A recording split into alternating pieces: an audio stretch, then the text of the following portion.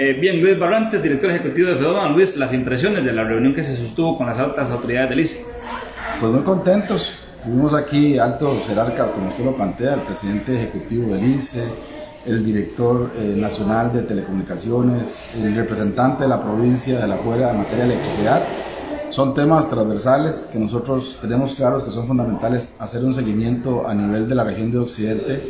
Eh, estamos muy contentos que la próxima semana se inaugura la planta Bolucho Free Zone, una planta que va a generar más de 20.000 empleos y que así como Parque Activa, así como Costa Rica Green Valley, así como el canal y muchos más que vendrán para la región requieren la electricidad y las telecomunicaciones.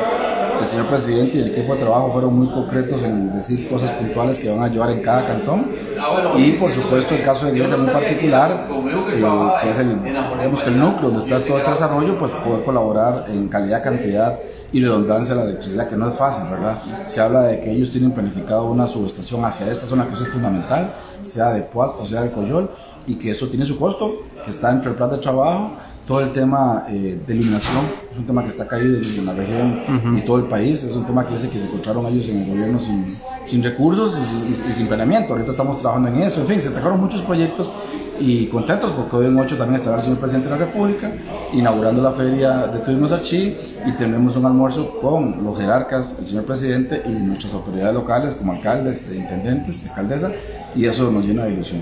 Luis, ¿siente que este gobierno tiene una apertura eh, mucho más amplia de atender eh, las necesidades de los alcaldes, de bueno, FEOMA y de la zona de Occidente que otros gobiernos, porque ya vino el ministro del MOP, ya vino el del ICE, se unió con el IFAM, eh, viene el presidente de la República, su primera visita a la zona de Occidente. ¿Sienten ustedes que, que hay un acercamiento que va a favorecer mucho esta zona? Mire, dos cosas. Por un lado, nosotros en la, federación tenemos un plan de trabajo muy concreto con el tema de coordinación interinstitucional. Eso es fundamental. O sea, si nosotros no coordinamos con, como usted lo plantea, con AIA, con el ICE, eh, con todas las instituciones, es muy difícil porque los recursos municipales no van para tanto. Pero todo de la mano sí. Eso por un lado. Pero por otro lado, usted lo plantea bien, eh, Rodolfo. Eh, hay que ser honesto, yo le decía ahora y felicitaba al señor presidente ejecutivo del ICE, que, gracias por esa cercanía y solventar problemas. Aquí mismo, eh, don Michael le preguntaba cuántas acciones salió, le preguntó y le consultó y ya le dio la solución. Y uno ve que hay una tendencia en los jerarcas del gobierno que viene desde el señor presidente de la República en buscar soluciones. Y bendito Dios que es así, bendito Dios que tenemos un plan de trabajo y que el beneficiado sean nuestros habitantes y por supuesto todo el sector emprendedor, empresario, pequeño, mediano y grande.